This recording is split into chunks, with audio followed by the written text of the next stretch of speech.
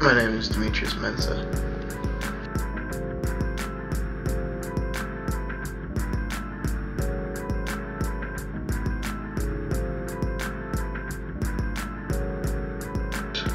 shoes, it just it started out as like a, a little bit of a hobby, and then um, it went from a hobby into a dream, a dream that I had, and then um, ever since then I've been building on it. Like it seems like every new every day something new happens, or I discover something else that helps me achieve that dream closer. Can you talk about the dream? What's the dream?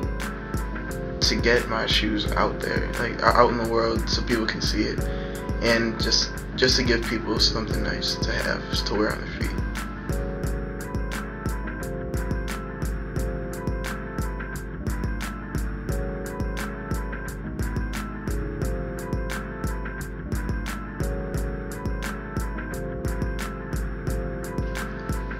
What makes my shoes special, I think, is um, is the fact that there aren't any type of shoes like these in the world. You won't see any more shoes that have the exact same design, the exact uh, colorways as these do.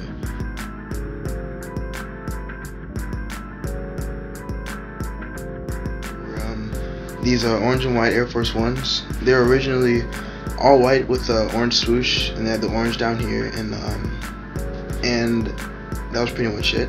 I turned it into the orange with the orange toe, toe box in the middle panel and the streaks down the side, and also the tongue was orange. But um, after that, with time, it kind of got a little dirty. It was kind of a little bit of a hassle to clean because it was my first custom, so a lot of the things weren't really the way they are now. So I turned it into this one that I have right here. And um, with that, I changed the name from uh, Stay Fresh Customs to Groundbreaker Customs. So I had that, um, that's what the label's right there.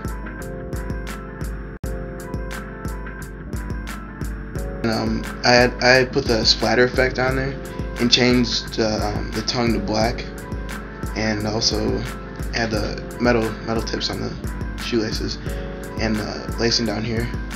Put that as a black one right there. Keep working hard at what you do because that's that's what that's what keeps me going. I've had people tell me that I can't do it. I've had I'd have I'd have family, I'd have friends, I had people telling me that no, I can't do it. It's not gonna happen. But um, just just staying at it is, is what's getting me where I am today.